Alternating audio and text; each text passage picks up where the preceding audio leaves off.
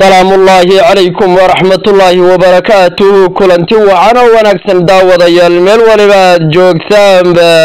qodobadaad wararkeena ku maqli doontaanna waxaa ka mida. Dhalinyarada gobolka city ee dowlad degaanka soomaalida ayaa cashir lamaylabaana u dhigay baa la yidhi. Ciidamada cafarta ee weerarka qaraariya dullaanka gardarada ku haya gobolka city ee dowlad degaanka soomaalida dhalinyarada gobolka city oo si weyn isu abaabulay ee dharbaaxo lama filaana ku dhuftay baa layidhi ciidamada canfarta iyadoo ciidamadaasi ay dhul aada u ballaaran ka qabsadeen maleeshiyaadka canfarta sidoo kale dowlad degaanka soomaalida iyo maamulka canfarta oy dowladda federaalka etoobiya dhexdhexaadin weyn ka dhex wadasay gobolka city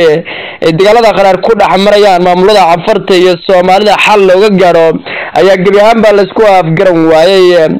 oday dhaqameedka degaanka soomaalida ayaa si weyn ula hadlay baa la yidhi oo codkarnimo ah maamulka canfarta iyo dowladda federaalka etoobiya oo mar kasta u janjeedha dhanka canfarta una xaglisa maamulka canfarta si soomaalida deegaanadaasi looga riixo ayadoo dhaqameedka degaanka dhexda u guntadeen baa lasi ay xaqa dadka shacabka ee galbeedka city ay u soo dhiciyaan ayadoo dowladda degaanka soomaalida arrintaasi si weyn uga gaabisay dowladda ethoobiya ayaa codsanaysa baa la yidhi in la wada hadalsiiyo dalka masar ee khilaafka weyn ee webiga niil uu ka dhexeeyo dowladda doctor abiy axmed ayaa codsanaysa baa la yidhi in la soo cusboonaysiiyo wadahadaladii udhexeeya labada dal ee muddada dheer kala maqnaa khilaafka weyn ku kala tegay ayadoo dowladda ethoobiya weli dhaamka weyn ee webiga niil ay hawshiisa halkii ka sii wadato welina buuxinta ay halkaas iyo shaqo culus ka socoto hogaanka mucaaradka watunka weyn qoomiyadda oramada jawhar mohamed ayaa sheegay qoomiyadda oramada inay xaq u leedahay in afti laga qaado dalweynaha ethoobiya intiisa kalena iskaga go-do. Jawhar mohamed ayaa sheegay mar ay su'aal weydiiyeen qurba joogta norway ee u dhalatay qoomiyadda oramada inay ethoobiya oo ishaysata ama nabada inay oramadu ka xoroobi karto. Sida uu fikradiisa u arkaya waxa uu sheegay inuu aada u soo dhaweyn lahaa etoobiyaanka kale oo isla jira inay oramadu wadan gaar ah noqoto aftina laga qaado. Oramaduna ay mar kasta u taagan tahay xaqeeda inay hesho. Etoobiyada kalena ay ka madax banaanato arrintaana waase uu kow u istaagayo una ololeynaya arrintaana uu aada u soo dhaweynayo. Madaxweynaha jamhuuriyadda federaalk ee soomaaliya doctor xasan sheekh maxamuud ayaa la filayaa inuu habeenimadan caawa ku dhawaaqo wasiirka koowaad ee dalka waa ra'iisul wasaaraha. Xafiiska madaxweynaha ayaa ololo weyn laga dareemaya iyo dhaqdhaqaaqyada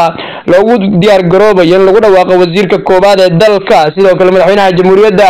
ayaa caawa la kulmay golaha baarlamaanka labada aqal aqalka sare iyo aqalka hoose ee golaha shacabka si uga dhaadhiciya baa wasiirkiisa koowaad ee qaabka u dabacsan yahay iyadoo madaxda dowlad goboleed gebi ahaanba ay ku sugan yihiin magaalada muqdisho qodobadaas iyo qodobo kale oo faah-faahsan ayaa warkeena ku eegeynaa taarikhdu waxay ku beegan tahay labayo tobanka bisha lixaad labada kun labaatan iyo labada. Haddayna u guda galno wararkeeni oo faah-faahsan dhalinyarada gobolka city ee sida weyn soo abaabulay ee dharbaaxo lama filaana ku dhuftay baa layidhi ciidamada canfarta ee duulaanka iyo weerarka gardarada ha saacad saacad ugu haya gobolka city ee galbeedka dowlad degaanka soomaalida. Dhalinyaradan soomaalida oo si weyn isu abaabulay ayaa weeraro qaraar ku qaadaan iyo fadhiisimada ciidamada canfarta ee deegaanada candhuufa cadayto duleedkeeda ay ku leeyihiin ee maalin kasta weerarka iyo waxyeelada u geysanayaan dadka reemiyiga ee ku sugan galbeedka gobolka city ayaa la sheegay jug weyn halkaasi u geysteen ciidamada canfartan halkaasi khasaare ba'an loogu geystay ciidamada canfarta oo maalmihii ugu dambeeya weeraro qaraar ku hayay gobolka city oyna dowladda deegaanka soomaalida si cad uga jawaabeen ciidamada deegaankan aan dhulkaasi la geenin ayay dhalinyarada gobolka city u istaageen si mutadawacnimo si ay dadkooda iyo deegaankooga iyo ciidooda u difaacaan dhalinyarada gobolka city ayaa si weyn uga soo baxay baa la yidhi. Waajibaadkii loo egmaday ayagoo gobolka city si weyn uga xoreeyey xogaga canfarta ee duulaanka iyo xoolaha dhaca iyo dulmiga ka wada galbeedka gobolka city oo muddo dheer ay dagaalo kharaar ka dhacayeen. Deegaanka soomaalida iyo canfarta xuduudan dheer ee udhexaysa ayaa marba marka ka dambeysa waxaa ka dhaca. Dagaalo aada u kharaar oo udhexeeya soomaalida iyo canfarta hase yeeshee dhalinyaradan ayaa hadda si weyn u difaacaysa gobolkaasi ayagoo guulo waaweyn ka gaaray. Dagaaladii u dambeeyey ee dhex maray soomaalida iyo canfarta. Dowladda federaalka ee ethoobiya ayaa wada dhexdhexaadan udhexeeya soomaalida iyo canfarta oo go'aan looga gaadhayo deegaanadan muranka weyn uu haleeleeyay gobolka city ee canfarta iyo soomaalida. Isu haystaan oday dhaqameedka dowladegaanka soomaalida ayaa si cad uga soo baxay baa layidhi waajibaadkoodii ka saaraa galbeedka gobolka city. Ayagoo hadal adagoo lama filaan ah kula hadlay dowladda ethoobiya iyo maamulka canfarta oo halkaasi u soo tafaxaytay si soomaalida deegaanadaasi looga faramaroojiyo oday dhaqameedka dowladegaanka soomaalida ayaa u sheegay baa dowladda federaalka ethoobiya iyo maamulka canfarta inayna soomaalidu marnana ka tanaasuleynin hal taaka oo ka mid ah deegaanka soomaalida ama galbeedka gobolka sete wixii la kala qaado oo keliyana ay tahay un dagaal. Haddayna canfartu dhulkaasi sida ugu dhaqsaha badan iskaga bixin. Canfarna la yaqaana dhulkeeda iyo xuduudeedii hore. Canfarna ay u baahan tahay inay si dhab ah wax loogu sheego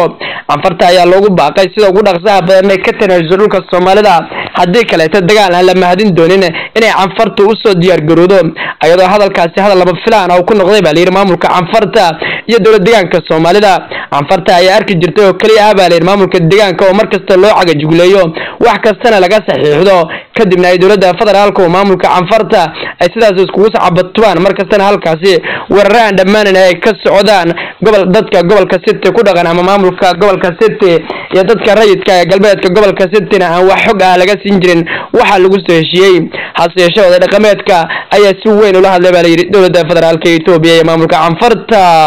dowladda etoobiya ayaa codsanaysa baa layidhi inay dalka masar mar kale wadahadaladii dib loo furo udhexeeyey khilaafka weyne ka dhexeeya dhaamka webiga nile dowladda etoobiya uu hogaaminaya doctor abiy axmed ayaa codsi dheer u dirtay baa layidhi dalka masar si dib loogu fulo faylalkii wadahadaladii udhexeeyay labada dowladood xalna looga gaadho xaaladda webiga nile dowladda masar ayaa dhowaan go'aan ka qaadatay arrinta etoobiya ee etoobiya go'aanka ku gaadhay inay biyahaas gebi ahaanba ama dhaamkaasi ay buuxiso marnana inayna wadahadal ka gelin ayadoo dalka masar muddo dheer ay kala maqan yihiin wadahadalada udhexeeya etoobiya masar halkaana uu khilaaf weyn ka soo wajahay labada dowladood. Hogaanka mucaaradka ugu tunka weyn qoomiyadda oromada waa jawhara mohamed ayaa mar uu xaflad weyn oo qoomiyadda oromada ku qabsatay dalka norway ama qurba joogta dalka qoomiyadda oromada ayuu sheegay inay qoomiyadda oromadu la gaadhay waqti ay dalweynaha ethoobiya ka guulahayd mar ay su'aal weydiiyeen qurba joogta dalka norway ku sugan ee qoomiyadda oromada ayaa waxa uu sheegay inuu asagu kow ka yahay dadka u ololeynaya etoobiyada kaloos wadata ama nabada inuu gebi ahaanba ay oromadu ka go-do. Haddii kaleeto lala yimaado wadooyin kale oo qolo walbana ay aayaad kaga tashanaysana arrintaasi inay oromadu lamber one ka tahay u ololeynayaan ayagu ayna u tahin dalweynaha ethoobiya in la badbaadiyo intii uu dagaal ahli ah ka dhici lahaa. Qodoboleedkeena ugu dambeeyey madaxweynaha jamhuuriyadda federaalk ee soomaaliya doctor xasan sheekh maxamuud ayaa ololihii ugu dambeeyey magacaabista ra'iisul wasaaraha ka wada xafiiskiisa iyadoo dhaqdhaqaaq weyn laga dareemayo xafiiska madaxweynaha jamhuuriyadda federaalk ee soomaaliya. Habeennimadan caawa ayaa la filayaa baa layidhi madaxweynuhu ku dhawaaqo ra'iisul wasaaraha dalka ama wasiirka koobaad ayadoo xafiiska madaxweynaha si weyn looga dareemayo ololaha ku dhawaaqida wasiirka koobaad ee dalka halkaana ay soo buuxi dhaafiyaan baa layidhi xildhibaano aad u tiro badan iyo siyaasiyiin u hanqal taagaya inay ka soo dhexmoodaan dowladda cusub ee xasan sheekh maxamuud. Tan iyo kulanti dambo wacan salaamu ullaahi calaykum waraxmat ullaahi wabarakaatu